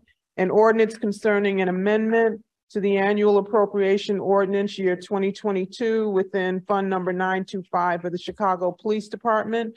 I move passage of this item by the most favorable roll call vote of the Committee on Finance and associated unsuccessful motion to reconsider. Hearing no objection, so ordered. This concludes my report. Thank you, Chairman Dow. Next up, the Committee on Economic Capital and Technology, Chairman Villegas. Thank you, Madam President, members of the City Council, reporting for the Committee on Economic Capital and Technology Development, which met on Tuesday, January tenth. The committee held an in-person meeting and recommends passage of the following items. The first item on the agenda is the reappointment of Charles Newsom to Special Service Area Number sixty-one, Hyde Park Commission, located but introduced by Mayor Lightfoot at the December fourteenth, twenty twenty-two City Council meeting. I move for pass of this reappointment by the first favorable roll call the vote on the Committee on Finance and the associated unsuccessful motion to reconsider. Hearing no objection, so ordered. Item two is an ordinance in support of a Class six B tax incentive for property located at forty-nine seventeen South Kedzie, forty-eight fifteen South Kedzie Avenue, and forty-eight thirty-seven South Kedzie Avenue in the fourteenth ward, introduced by Mayor Lightfoot during the December fourteenth, twenty twenty-two City Council me- meeting. I move for passage of this item by the first favorable roll call vote, of the Committee on Finance and the associated unsuccessful motion to reconsider. Hearing no objection, so ordered. The last item on the agenda was a very informative subject matter hearing where no vote was taken by the committee members. Specifically, the hearing concerned the goals, plan, and approach to the annual and five-year capital improvement programs and discussed an overview of the programs with those leading its development in addition to the departments with the most funds being utilized. Vice Chairman Mitchell, ECD committee members, and I would like personally thank every city department that participated and contributed to the hearing's success. Deborah Witzburg of the Inspector General of the City, City of Chicago Office of Inspector General, Jenny Bennett, Chief Financial Officer, Susie Park, Budget Director, Sandra Blakemore, Commissioner of AIS, Tom Carney, CDOT, Andrew Velasquez, Aviation, Andrew Chang, uh, Water Department. We look forward to continuing these important conversations concerning the capital improvement program in partnership with the departments. Thank you, Madam President. That concludes my report. Thank you, Mr. Chairman. Next up, the Committee on Environmental Protection and Energy, uh, Vice Chair Nugent. and members of the City Council, reporting for your Committee on Environmental Protection and Energy, which held a remote meeting on January 6, 2023. The committee has a series of reports recommending passage of the following. Items one through six were a series of appointments to the Urban Forestry Advisory Board. They are Jessica Vogt, James C. Melka, Cindy Schwab, Daniela Perea, Nuri Medina, Rolanda Favela. Unless anyone wishes to speak to these appointments, I move passage of these items by the first favorable roll call vote of the Committee on Finance and associated unsuccessful motion to reconsider. Hearing no objection, so ordered. Madam President, this concludes my report. Thank you. Uh, next up, the Committee on Health, um, Alderman Sawyer.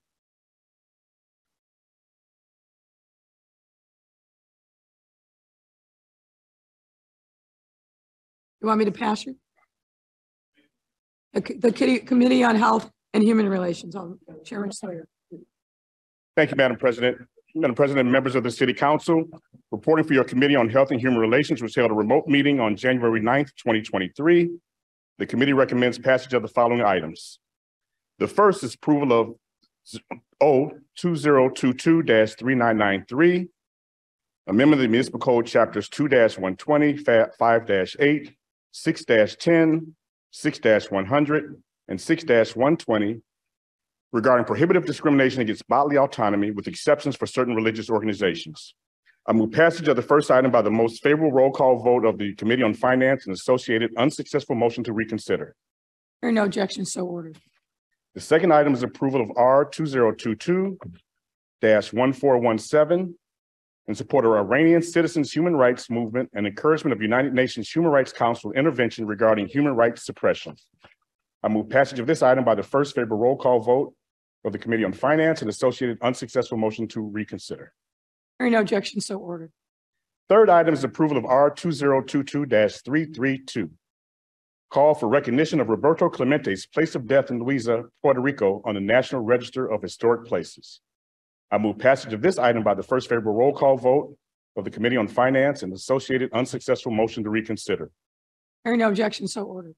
That concludes my report. Thank you, Madam President. Thank you, Mr. Chairman. Next up, the Committee on Housing um, and Real Estate, Chairman Osterman. Thank you, Madam President. Um, Reporting for your Committee on Housing and Real Estate, which held a remote meeting on January tenth, twenty twenty-three, the committee has a series of reports recommending the following. Item number one is an ordinance com- commemorating fifty-seven oh eight North Ridge Avenue is Marion Jean Kennedy Volini Plaza in the forty-eighth ward.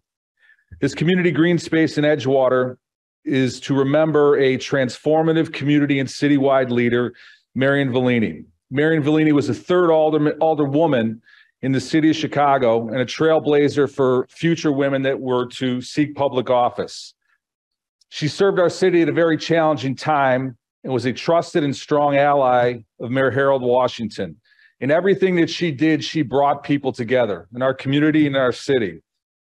Her work in the 70s and in the 80s in our community has been the foundation for a lot of the positive success that we see in the 48th Ward today.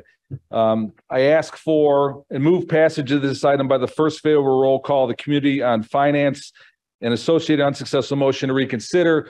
But before I also, I want to recognize her family. Uh, many of you know Mike, her son, Mike Volini, who's with us today, and her grandson, uh, Michael Volini, daughter Emily Volini, Marcy Landis, and the rest of the Volini clan, Monica and, and Mimi.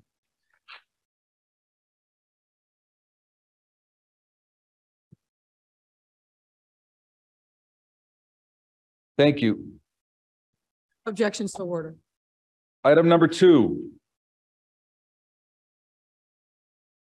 is a sale of city-owned property at forty-two thirty-two South Wells Street to Maria Teresa Dominguez under the ANLAP program in the third ward. I make the same motion if there's no objection. Hearing no objection, so ordered. Item three is an amendment to the ordinance to correct the bidder's address for the sale of city-owned property at fifty-nine fifty-two South Loomis Boulevard under the ANLAP program in the sixteenth ward. I make the same motion if there's no objection. Hearing no objection, so ordered. Item four is a lease agreement to Cumberland Acquisition LLC for office and parking space um, at fifty-four forty North Cumberland Avenue uh, that will serve as a um, Chicago Police Department EAP office um, to serve those men and women in the uh, Chicago Police Department and Fire Department. I make the same motion if there's no objection. Hearing no objection, so ordered. Item five was the housing report that we reported the um, 2022 Q3 housing reports.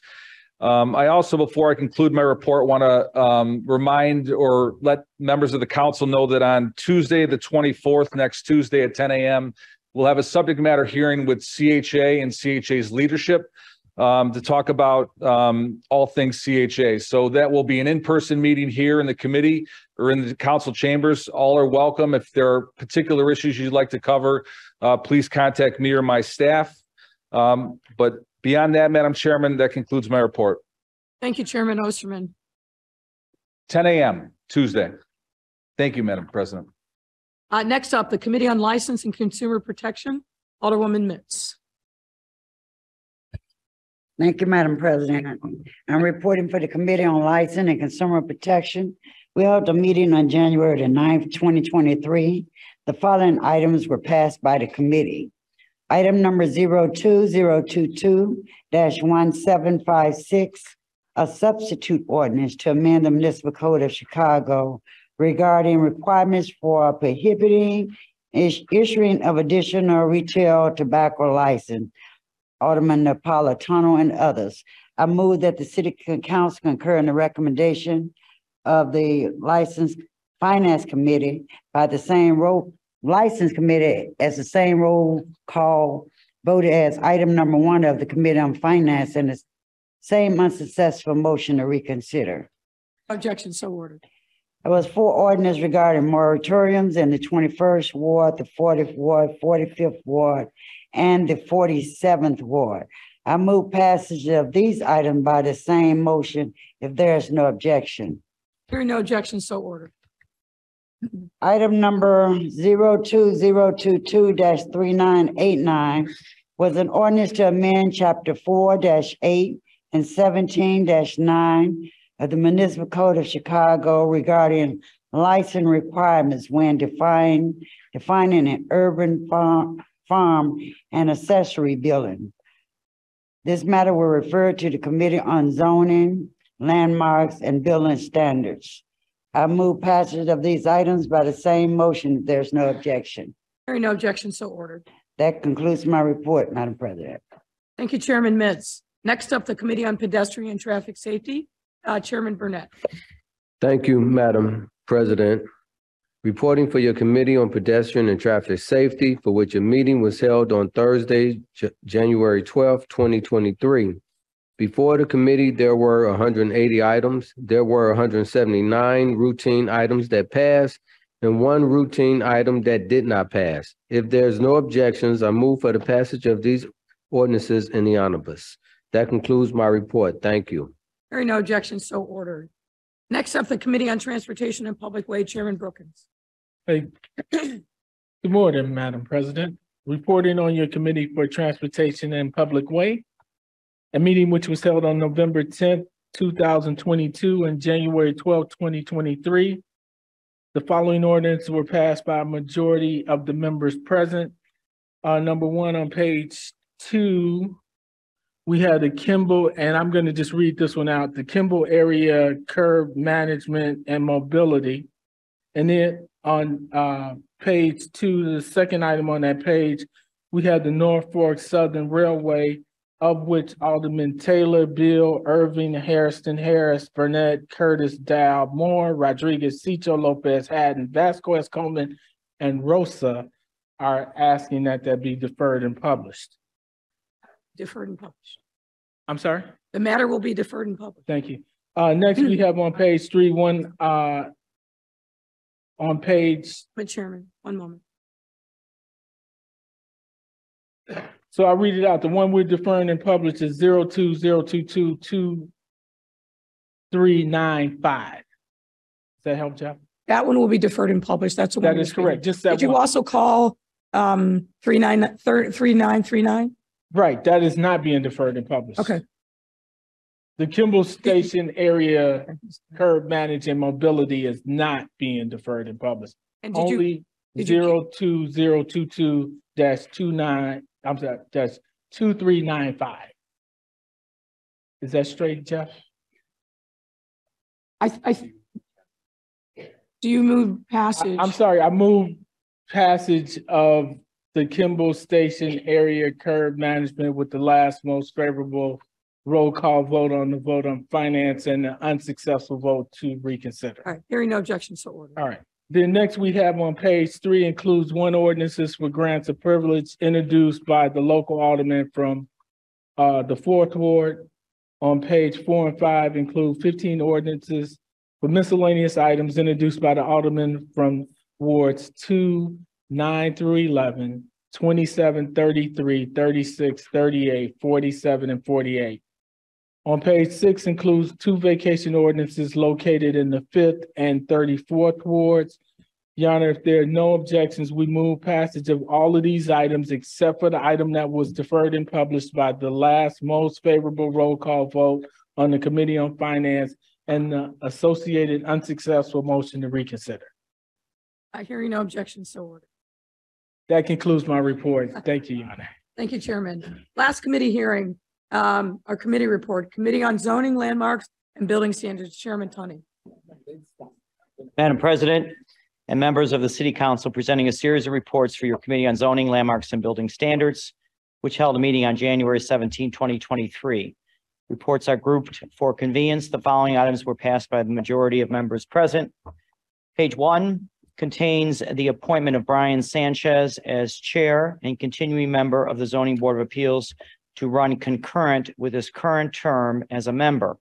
I move passage of this item by the last most favorable roll call vote of the Committee on Finance report and the associated unsuccessful motion to reconsider. Hearing no objection, so ordered. Page one also contains the reappointment of Andre Broomfeld as a member of the Chicago Plan Commission for a term effective immediately and expiring January twenty-fifth of twenty twenty-eight. I move passage of this item by the same motion if there's no objection. Hearing no objection, so ordered. Page one also contains the reappointment of Sarah E. Lyons as a member of Chicago Plan Commission for a term effective immediately and expiring January twenty-fifth of twenty twenty-eight. Move passage of this item by the same motion if there's no objection. Hearing no objections, so ordered. Page one also contains document number 02022 three nine four one. The amendment of application number two one oh nine oh to correct the boundary description regarding the zoning reclassification located at twenty-eight thirty-three West Forty-seventh Street, twenty-nine forty-nine, I'm sorry, twenty-seven forty-nine through twenty-seven fifty-seven, twenty-seven forty-nine through twenty-seven forty-five, all on West Forty-seventh Street and forty-seven seventeen through forty-seven twenty-three South California Avenue. I move passage of this item by the same motion if there's no objection. No objection, so ordered. Page one also contains document number zero two zero two two three seven eight five, which contains amendments to ordinance number SO twenty twenty-two two thousand. I move passage of this item by the same motion if there's no objection. There are no objections, so ordered. Page one through eleven contains various map amendments in the first, third, fourth, eleventh, twelfth, twentieth, twenty-third, twenty-fourth, twenty-fifth, twenty-seventh, twenty-eighth, twenty-ninth, 38th, 40th, 42nd, 43rd. I'll come back to that one in a sec, or there's multiple in 43, but uh, motions in 43, 44, 45, 46, 47, 49, and 50th wards. I do want to note that in the 43rd ward, document number 02022-3878, uh, there's a no vote by Alderman Hopkins in that issue in the 43rd ward. Otherwise, I move passage of these items by the same motion if there is no objection. Uh, noting the objection of uh, Alderman Hopkins, um, and no other objections, so ordered. Page twelve contains various large signs over one hundred square feet in area, twenty-four feet above grade in the eleventh, fourteenth, twenty-third, twenty-seventh, forty-second, and forty-fifth wards. I move passage of these items by the same motion if there's no objection. Hearing no objection, so ordered. Madam President, that concludes my report. Thank you, uh, Chairman Tunney.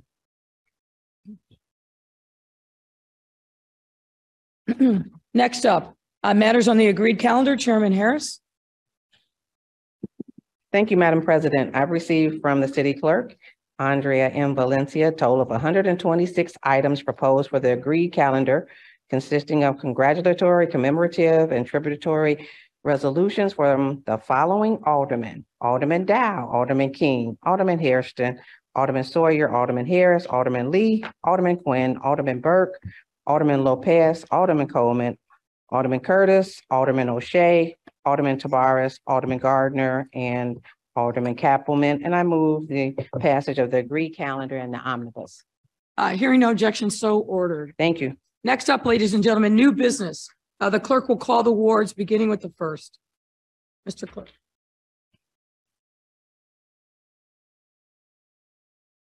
Claims, fee permits, license fee exemptions, which are referred to the Committee on Finance. Zoning amendments, which are referred to the Committee on Zoning, Landmarks, and Building Standards. Traffic regulations, traffic control signals, and traffic signs, which are referred to the Committee on Pedestrian and Traffic Safety.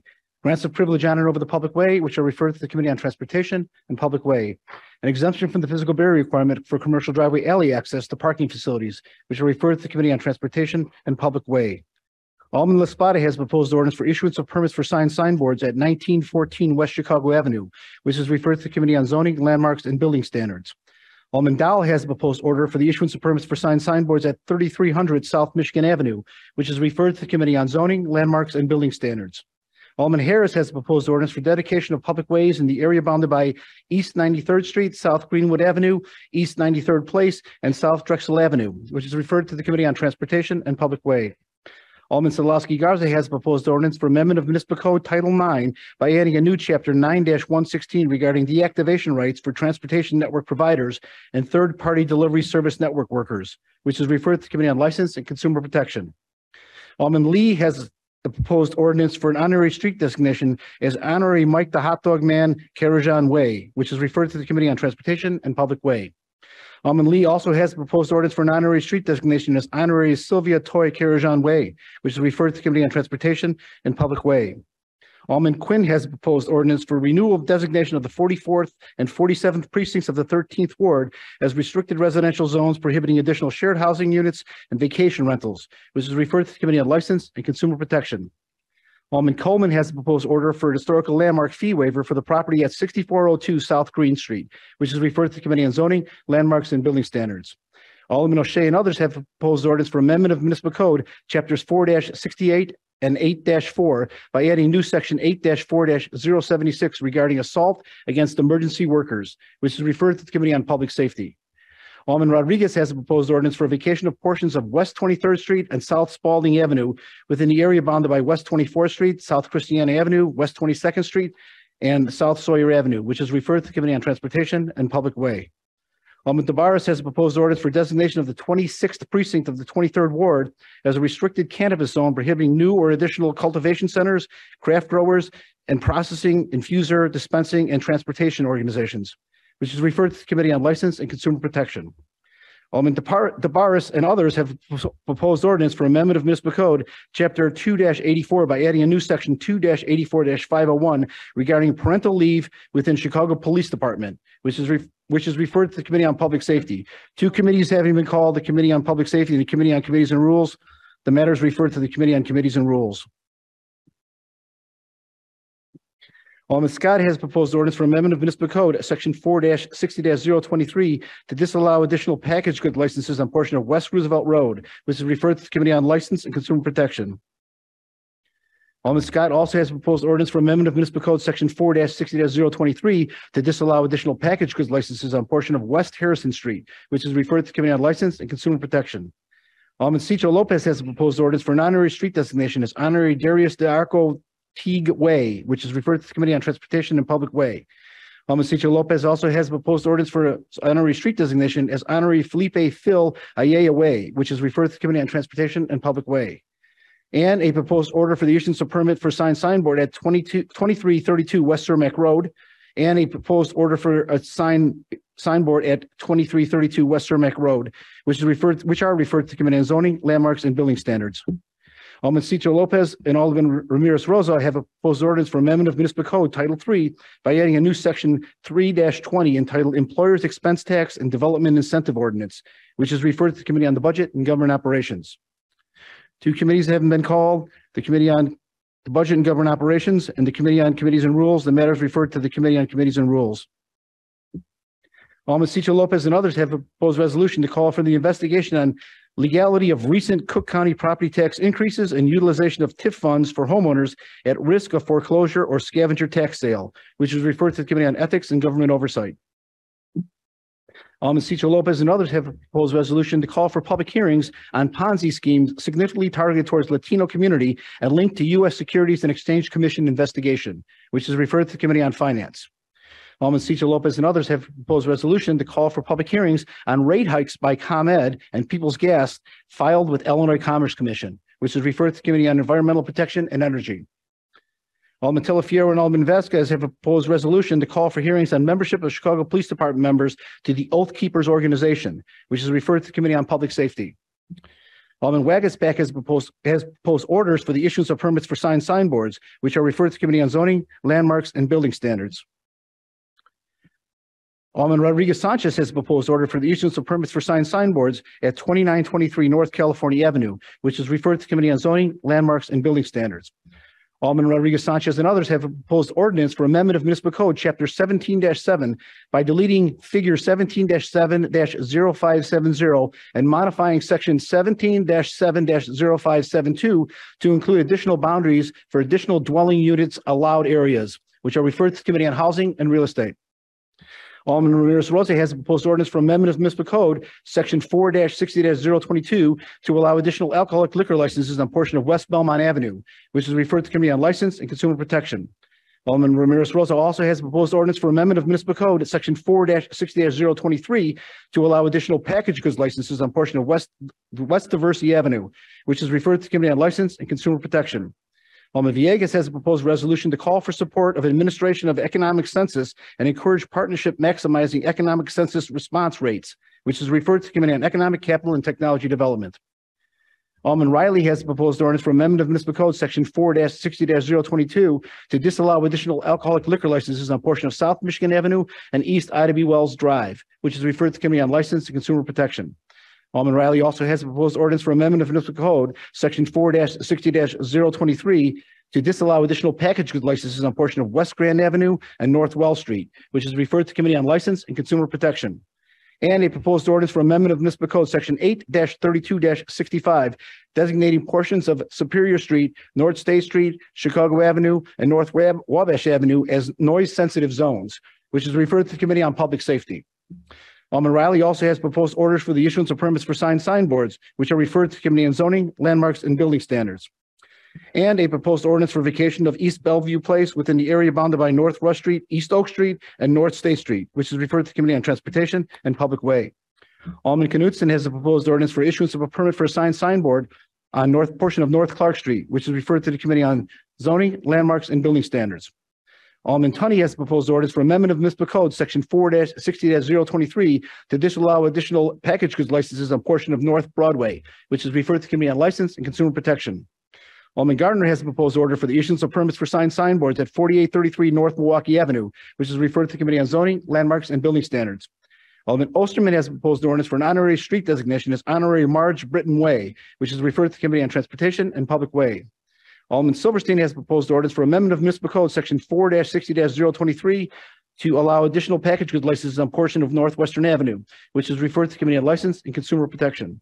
And a proposed ordinance for amendment of municipal code, section four sixty 23 to disallow additional package good licenses on portion of Northwestern Avenue, which is referred to Committee on License and Consumer Protection. And Alderman Ervin has a proposed resolution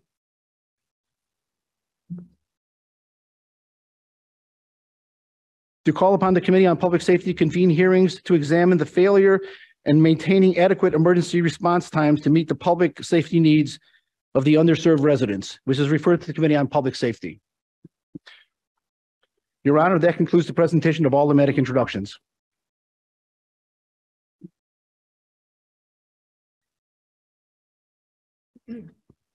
All right.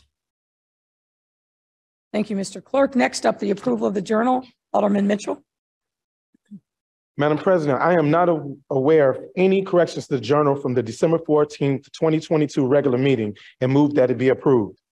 Hearing no objection, so ordered. Next up, unfinished business. Alderman Mitchell. Madam President, I am not aware of any unfinished business. Thank you. Uh, miscellaneous business. Um, Alderman Mitchell. I am not aware of any miscellaneous business. And the date and time of the next meeting? I've handed up an ordinance to the clerk setting the date and time of the next meeting. Madam Clerk. Be it ordained by the City Council of the City of Chicago. The next regular meeting of the City Council of the City of Chicago shall be held on Wednesday, February first, twenty twenty-three, beginning at ten AM in the council chamber on the second floor in City Hall, one twenty-one North LaSalle Street, Chicago, Illinois. The ordinance shall take effect and be enforced until after its passage. Hearing no objections, so ordered. Omnibus. Um, Alderman Mitchell. Madam President, I move that matters in the omnibus be passed by the first most favorable roll call vote by the Committee on Finance and the associated unsuccessful motion to reconsider. Hearing no objections, so ordered. Alderman Mitchell on a motion to adjourn. There being no further business before the body, I move that we adjourn. Hearing no objections, so ordered. See you February first, everyone. Thank you. We are adjourned.